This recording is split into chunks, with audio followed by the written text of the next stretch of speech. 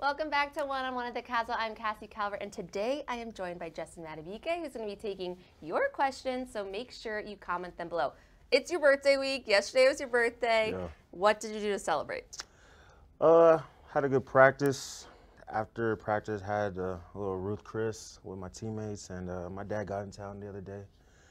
Had some cake after, so yeah. That, I mean, what could be better? Yeah, it was great. So you Great go out to teammates dinner with your teammates on your birthday. Are they picking up the tab on that one? My boys did pick up the tab on Nice, that. Like, Calais, nice. Calais, shout out to Calais. Shout out to Calais. That is a Showing true love. bet right yeah, there. exactly. So speaking of Calais, you it's prob it's so cool to me that you have two of the coolest vets in the NFL like to learn from with Calais and Justin Houston being in your group. What is it like to get to practice with those guys every day and just learn from people who have done it at a high level for so long? Um, it's great. It's um, something that definitely helps me develop. I just watch like things that they do, things that they say, notes that they take, ask them questions. They're always like giving me information, no ego, just straight Mm-hmm. love. So it's great. I can't even ask for nothing better, honestly. And they're just two like really good people at the core, which like people don't always know. I feel like that kind of shines through with the two of them, but that just makes it even more special to me. Another great person that we just added to this defense, we were talking about this a little bit before, is Roquan Smith. First game last week in New Orleans. What have you seen from him so far? That man can tackle. That man's fast. Great guy too. SEC brother. Yeah. Yeah, great guy. I'm glad he's on our squad for sure. Seriously, we Yeah. love that. So speaking of the New Orleans game, you were mic'd up. We were Yeah. talking about this a little bit before too. He's got some bars. Who knew? You could yeah, sing. Yeah, I didn't. I didn't know I could sing until I saw the the mic up later. I was like, okay, I kind of got some, some, you know what I'm saying? But yeah, it was, it was fun. Great game, great win. We were saying it was actually like a pretty little catchy song. Like I love this team. Like the rest of the day, I was like in my head. humming it along. Uh, I started messing up and I was like, oh god, oh god. That's great. Hidden talent there for Yeah, sure. yeah. All right, we've got some fan questions coming in for you. This one is from Mike Kelly on Facebook. He wants to know what is it like to come out of the tunnel on game day? oh man, energy is rocking, electric. M&T Bank. I mean, it's crazy. It's uh, it's great. It's great. I don't even know. I, I don't, words can't even describe it. I'm saying all types of stuff. Words can't even describe it. You get just kind of like goosebumps just Yeah, goosebumps and just like it, get, it gets me amped up, ready to just Mm-hmm. beat somebody up and get a win. And you kind of have like your thing that you do coming out of the tunnel now, Yeah, right? Like yeah. chest. Is that you? Like chest bump, head Yeah. slaps, screaming, running, Fired up. fired up, ready to go, ready to go. Is it different for like a 1 p.m. p.m. game versus like a night game? Uh, I think the night games would be more like, no, they all the same. Honestly, they're all loud. M&T Bank be loud both ways, but at night it's it, it- when it's dark and it's just like more like a movie scene. Mm-hmm. Yeah. It's like action packed. I'm like, this is like what I grew up like dreaming about. Yeah, So, yeah. that's crazy. yeah. All right, we've got a Thanksgiving themed question for you. This one is from John Welker on Facebook. Turkey, ham, or chicken for Thanksgiving? Turkey, ham, or chicken? I mean, I'll say turkey. Yeah, Really? turkey, yeah, or chicken. I think ham's last. I'm not really a ham guy. Really? Yeah, Ham's me. first for me. I think turkey's a little overrated. Oh, really? It's always like dry. Yeah, the way my mama make it, she be making it all juicy and stuff. All right, well- seasoning. You know, you know, you know. Yeah, yeah, yeah. So, yeah. That maybe I'm just eating turkey all wrong then. this one is from Cody on YouTube. Who did you admire growing up? Like football player, anybody? Anybody? Anybody? Oh, I admire growing up. You know, I'm gonna just say I'm gonna stick with football. I liked I, I liked Michael Strahan growing up and, J- mm. and Justin Tuck. Um, like I'm not gonna lie, I was like, I, I, don't- I didn't say I was a Giants fan, but I liked the Giants because of those mm-hmm. two guys, just like defensive ends, like had a personality, could ball. So I'll say those guys looking up. And my personal, I would say my dad for sure.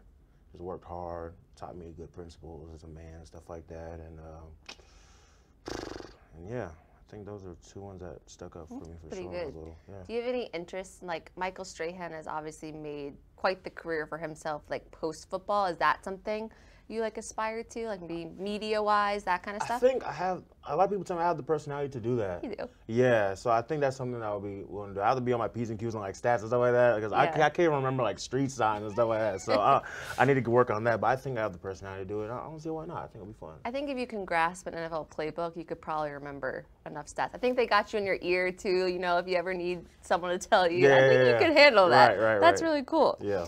This question is from Felton on YouTube. What pushed you to become a Raven and to follow your dreams? That's a good one. What pushed me to be a Raven and follow my dreams?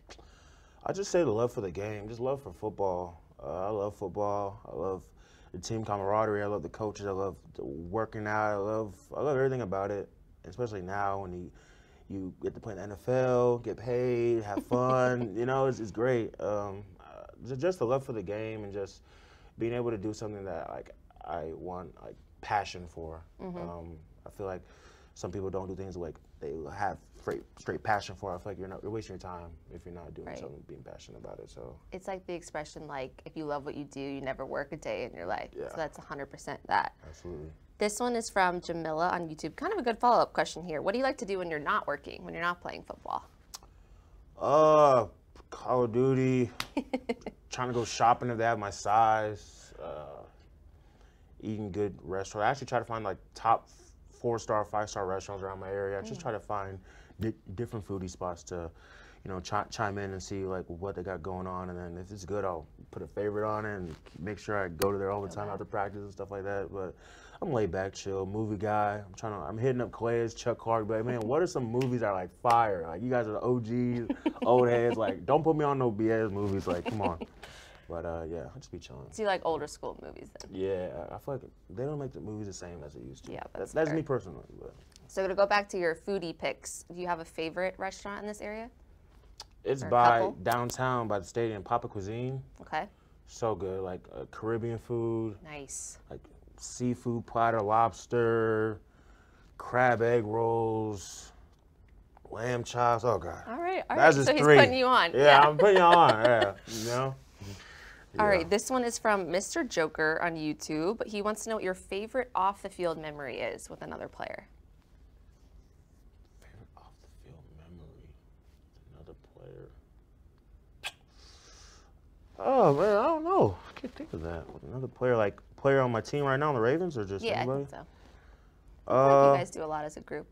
yeah, we do. I'd say we went to my rookie year. We went to Miami as our uh, D line trip because we all take like a trip after the season's over, and that Mm-hmm. was super fun. We had so much time, uh, fun. We on the boat. we were eating good food. It was my first time in Miami, and it won't be my last after that. So yeah, that was fun.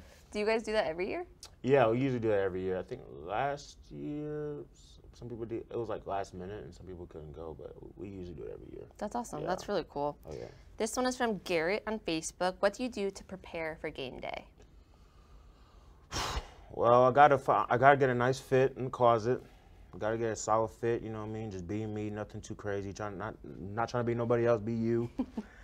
get you a nice playlist, good like 12, 15 songs on there that you can, you know what I'm saying?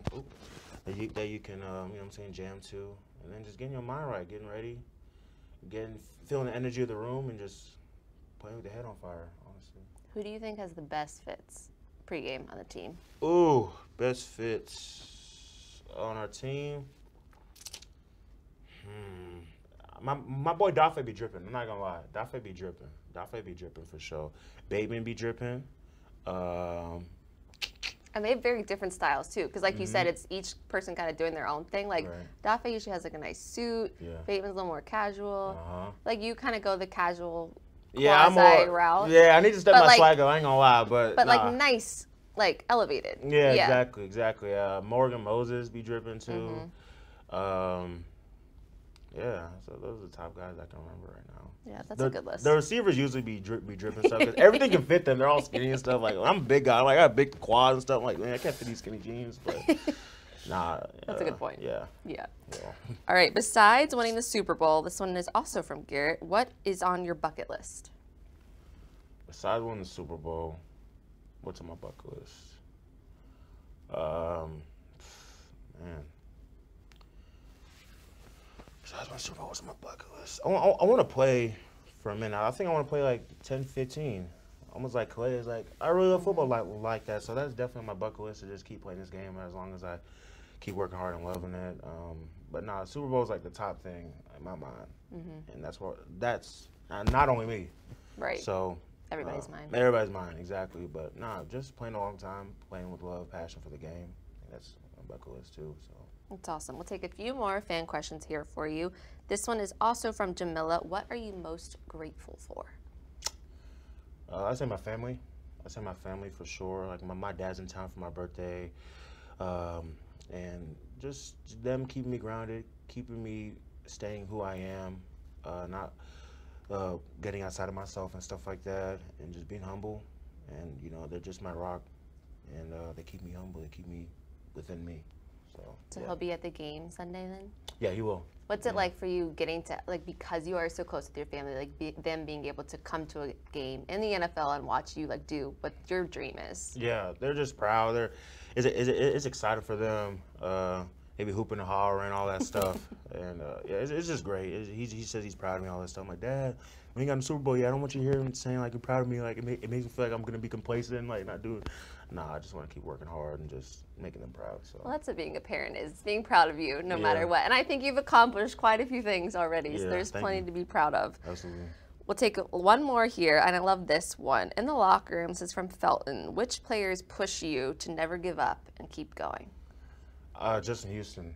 Justin Houston's a dog for real. He uh, he has a great mentality when it comes to football. He's been doing it for 12, 13 years. Like when he talks, we listen, and um, he's somebody that I, de- I deeply like respect, and uh, somebody that can get me going for sure.